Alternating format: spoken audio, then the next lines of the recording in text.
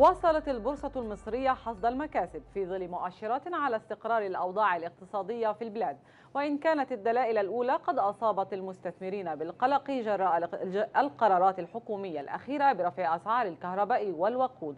ورغم انتقادات البعض لضريبة العشرة بالمائة على الأرباح الرأسمالية والتوزيعات النقدية صارت عملية بدء التحصيل كما خطط لها مع تأكيد آخرين أن هذه الخطوة قد تعد تصحيحا لوضع خاطئ.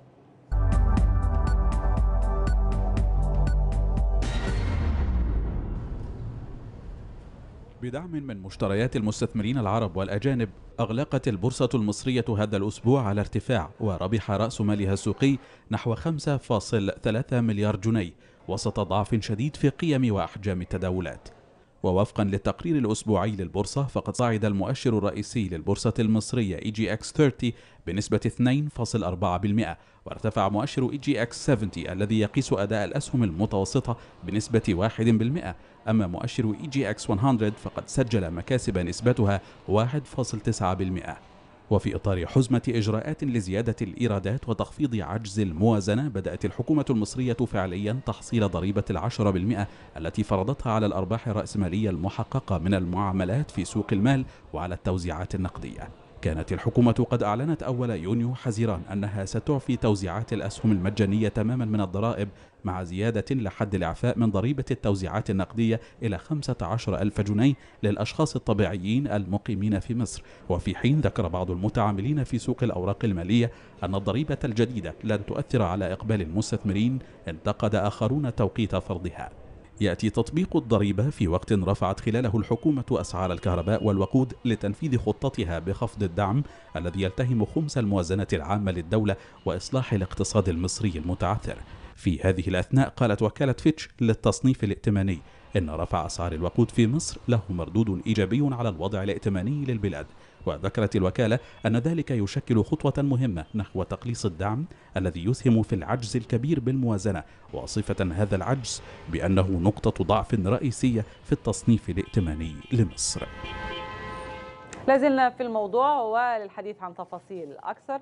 يسعدنا أن تكون معنا رانيا يعقوب محللة اقتصادية. أهلا وسهلا بك. بعد التحية أستاذة رانيا ما تقييمك لخطوات الأولى في بدء تحصيل ضريبة الأرباح الرأسمالية وأيضا التوزيعات النقدية؟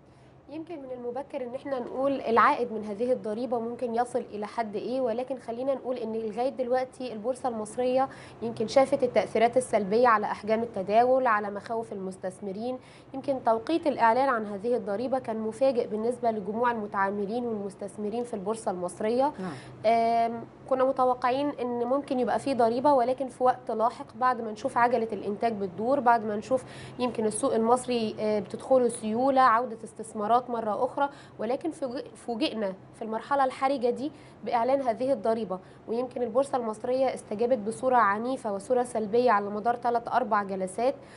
ما زلنا بنقول إن العائد ليس كما تتوقعه وزارة المالية ولكن هنترك الحكم في نهاية السنة المالية الأولى لنرى ما يعني ما ستسفر عنه أو ما ستحصله هذه الضريبة هل هو كما كانت تتوقع وزارة المالية ولا كما إحنا توقعنا وقدمنا دراسات على بناء على أحجام التداول في السوق وعلى السيولة خلال الثلاث سنين الماضية وأثبتنا إن فعلا العائد يمكن مش هيكون بالجدوى اللي بتتوقعه وزارة المالية. لكن في نفس الوقت أستاذ رانيا يعني إذا كانت هناك آراء يعني بعض الخبراء الاقتصاديين كانت بشكل واضح ضد هذه الضريبة لكن سمعنا أيضا آراء خبراء كانوا في صف هذه الضريبة ترى يعني ما هي مبرراتهم أنا هضرب مثال واضح جدا يمكن حصل خلال هذا الأسبوع مثلا في البورصة القطرية البورصة القطرية أقر مجلس الشورى رفع الضرائب على المحافظ الاستثمارية الأجنبية م.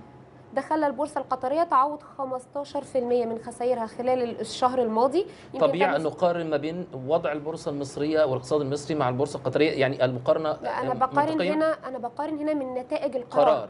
فرض الضريبة و إلغاء ضريبة مم. يعني إحنا كنا بنأمل في الفترة دي إن إحنا نجذب استثمارات آه نجذب سيولة نقدم فرص استثمارية مم. نعرض مشاريع عملاقة في البنية التحتية آه نطرح مشاريع أو نطرح شركات كبرى في البورصة المصرية يمكن في بداية الشهر نفس الشهر اللي تم الإعلان فيه عن وضع هذه الضريبة كان في مؤتمر من أكبر المؤتمرات اللي عملتها البورصة على مدار تاريخها للطروحات مم. الأولى وكنا بنتوقع إن هذا المؤتمر هيجذب عدد كبير من الشركات الحكومية والشركات الأجنبية الأجنبية لطرح أسهمها أو الشركات العاملة في مصر طرح أسهمها في. مم. ولكن في نهاية هذا الش- الشهر فوجئنا بخبر إعلان ضريبة يمكن ده آه، أصاب المستثمرين بحالة من الاستغراب لسه البورصة المصرية يمكن بيقال إن إحنا حققنا أعلى عائد على مدار العشر شهور الماضية.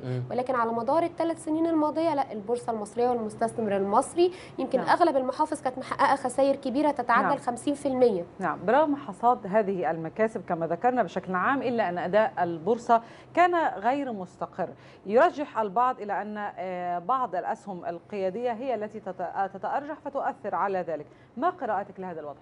يمكن هنقول تعاملات شهر رمضان بتتسم بالتعاملات الهادئة. أحجام مم. السيولة بتبقى آه، هنقول آه، بتبقى معتدلة. آه، ما زالت أغلب الأسهم بتمر بعمليات تجميع ولكن ما زالت السيولة محجمة عن الدخول في السوق المصري. في يمكن منتظرين مجموعة من مجموعة من القرارات المحفزة اللي بنتمنى إن الحكومة المصرية زي ما اتخذت قرارات بفرض ضرائب وإن هي وإجراءات تقشفية والدعم ورفع الدعم عن أسعار الوقود.